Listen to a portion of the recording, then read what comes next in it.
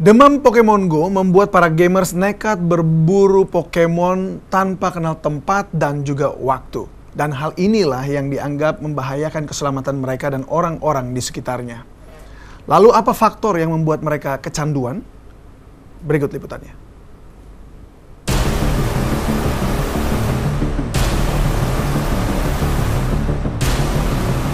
Pemain Pokemon Go diminta sungguh-sungguh berjalan di dunia nyata sambil menyusuri peta-peta virtual. Cara bermain seperti ini rentan dengan insiden berbahaya di dunia nyata. Karena dianggap terlalu fokus pada peta virtual, pengguna seakan hidup di dunia sendiri tanpa memperhatikan lingkungan. Akibatnya beberapa kecelakaan pun kerap terjadi lantaran Pokemon Go. Di California, Amerika Serikat, dua pemain terjatuh dari tebing saat bermain.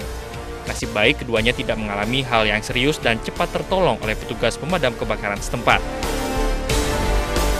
Kecelakaan akibat bermain Pokemon Go bukan pertama kalinya terjadi. Sebelumnya pun terekam seorang pemain Pokemon Go tercebur ke dalam kolam lantaran terlalu berkonsentrasi pada ponselnya saat mencari monster. Demam Pokemon Go juga bisa mengancam nyawa. Dalam rekaman yang terlihat, pemain Pokemon Go hampir terkena tembakan setelah mereka tidak sengaja memasuki lahan properti orang tanpa izin.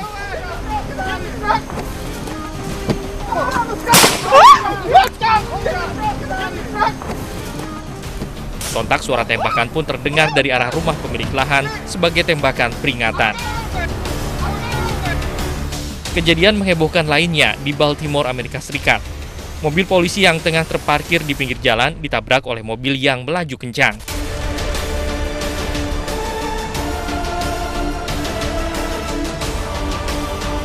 Saat mobil yang menabrak tersebut dihampiri oleh petugas, sang pengemudi langsung mengakui kesalahannya dengan menunjukkan telepon genggamnya sedang membuka aplikasi permainan Pokemon Go.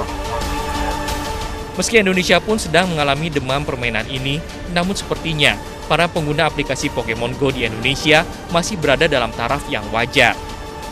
Karena pihak kepolisian belum mencatat adanya kecelakaan ringan maupun berat yang terjadi akibat penggunanya sedang memainkan Pokemon Go. Namun hal ini tetap harus ekstra berhati-hati karena bukan sekali saja pemain Pokemon Go dengan sengaja membawa kendaraan sambil bermain Pokemon Go. Biasanya sih saya lagi nyetir eh, nggak sadar aja di depan udah ada truk gitu. Udah ada truk, udah di depan saya, tak saya masuk ke dalam truknya itu. Untungnya nggak apa-apa sih, cuma motornya aja. Pemerintah mengimbau agar pengguna Pokemon Go bermain di tempat-tempat yang aman. Karena saat ini, pemerintah sedang mewaspadai sebuah informasi yang menyebutkan bahwa kehadiran permainan Pokemon Go perlu diwaspadai karena bisa dimanfaatkan sebagai alat mata-mata. Dan lebih jauh lagi, melalui permainan di ponsel pintar ini, kemudian dimanfaatkan oleh para intelijen asing untuk memetakan objek vital di Indonesia. Mengenai hal ini, Menteri Keamanan Ria Mirzad Riyakudu mengatakan bahwa permainan ini memiliki kemungkinan disisipi oleh intelijen. Makanya kita harus hati-hati. Sekarang orang bisa dengar dari bimbingan ke sana bisa dengar. Ya, media kaca pun dia bisa dengar. Dan apa pun ya tentunya bisa masuk. Masalah Pokemonnya bisa. Kekhawatiran pun datang dari anggota Komisi 1 DPR RI Tantowi Yahya yang meminta agar aplikasi permainan yang bisa diunduh secara gratis ini tidak diabaikan. Nah, kita patut uh, membuat kecurigaan mengapa dia membuat aplikasi dengan menggunakan kamera dan bisa diunduh secara gratis.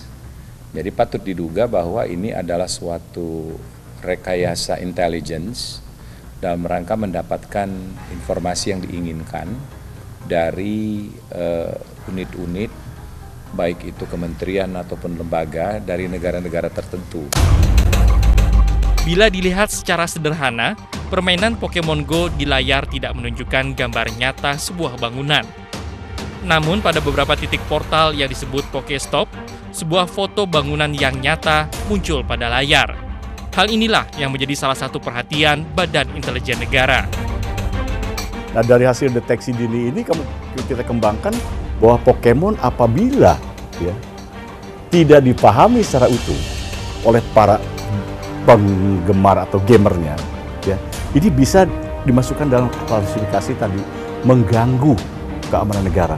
Apabila alat tadi kameranya di on kan, siapa pun bisa melihat semua lokasi, semua target yang ada di kamera. Yang dimaksudkan membayangkan keamanan negara apabila si pemain tadi berdekatan dengan instalasi-instalasi vital keamanan negara. Kita kan tidak tahu human intelligence-nya tadi, siapa yang memegang devices itu. Apakah betul dia seorang gamer atau orang bagian dari jaringan intelijen? Itu yang dimaksud. Apabila bagian dari jaringan intelijen, dia bisa secara utuh memotretkan tadi instalasi-instalasi vital tadi dalam dalam bentuk tiga dimensi. Seperti tidak mau kecolongan, pemerintah pun segera bertindak cepat dengan membuat aturan Kementerian Pendayagunaan Aparatur Negara dan Reformasi Birokrasi Yudi Krisnandi mengeluarkan surat yang meminta agar para menteri, jajaran TNI beserta kepolisian, dan pejabat lainnya untuk tidak memainkan game virtual berbasis GPS ini di lingkungan instansi pemerintah. Uh, ada potensi kerawanan terhadap keamanan dan kerahasiaan uh, instalasi pemerintah. Dan itu juga sudah uh, menjadi sinyalemen dari Badan Intelijen Negara kepolisian negara maupun uh, eh, TNI ya banyak uh, dampak negatif dari penggunaan atau permainan game Pokemon yang yang tidak dibatasi itu bisa mengganggu adanya potensi kerawanan keamanan dan kerahasiaan. Hal ini sebagai bentuk kewaspadaan nasional dan mengantisipasi timbulnya potensi kerawanan di bidang keamanan pemerintah.